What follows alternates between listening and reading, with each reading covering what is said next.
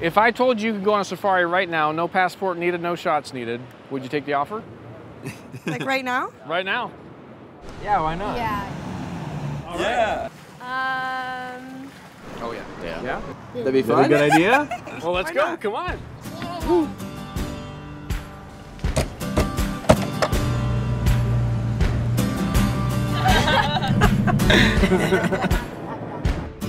So when you guys woke up this morning, did you have any idea that you would be going on safari? No. Good call. Good call. Yeah. I'll let you- When I say safari, what do you think? Adventure. The elephants. I'm hoping to see lots of birds. like, Tigers. You see them over there? Oh my god.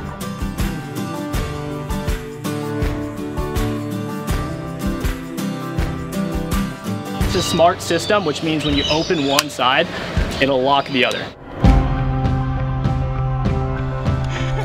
We've had about 140 cheetahs born here, which is pretty phenomenal considering that they are a threatened species. There's less than 10,000.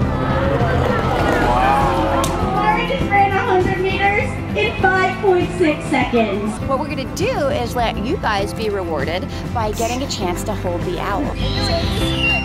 My favorite part of the day was the birds. It was just amazing. You're sitting there like holding the hawk. It's like get right into your face. You feel that breeze? Yeah.